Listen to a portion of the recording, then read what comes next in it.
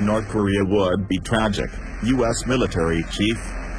Military action on the Korean peninsula would be tragic on an unbelievable scale, Pentagon Chief James Mattis says. U.S. Defense Chief James Mattis delivered a somber caution on North Korea, saying any military attempts to resolve the crisis would be tragic on an unbelievable scale. Mattis was speaking on Friday to reporters at the Pentagon, days after North Korea test-fired what analysts say was its longest-range rocket yet. Despite tough talk from top U.S. officials in recent weeks and the deployment of an aircraft carrier strike group to the region, Mattis said the best option for North Korea is finding an international solution to effectively apply pressure on Pyongyang. As you know, if this goes to a military solution, it is going to be tragic on an unbelievable scale, and so our effort is to work with the UN, work with China, work with Japan, work with South Korea to try to find a way out of this situation, he said. North Korea is accelerating efforts to develop an intercontinental ballistic missile capable of delivering a nuclear warhead to the continental United States. Though Mattis said Pyongyang isn't listening to cautions from the international community, he credited China's efforts to apply pressure as having some limited influence. There appears to be some impact by the Chinese working here, he said. Mattis said the rocket tested on Sunday had gone extremely high and North Korean scientists were likely to have learned a lot from the test. But he would not say if it was clear the missile made a controlled reentry from outside the atmosphere. In North Korea on Friday, thousands of residents lined the streets to give the scientists and workers behind Sunday's missile test a hero's welcome, state media reported. Even without its missiles, North Korea has amassed artillery units along its border with South Korea and any military action from Pyongyang could be devastating. The capital, Seoul, is only about 55 kilometers away and the north could rain shells onto the city of 10 million. North Korea's deputy UN envoy said on Friday the United States needed to roll back its hostile policy towards the country before there could be talks between the pair. As everybody knows, the Americans have gestured toward dialogue, North Korea's deputy UN ambassador Kim In-ryong told reporters. But what is important is not words, but actions.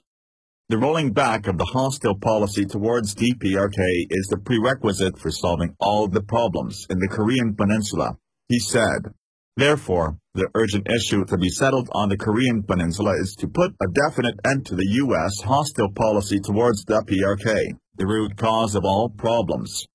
North Korea is also known as the Democratic People's Republic of Korea, DPRK.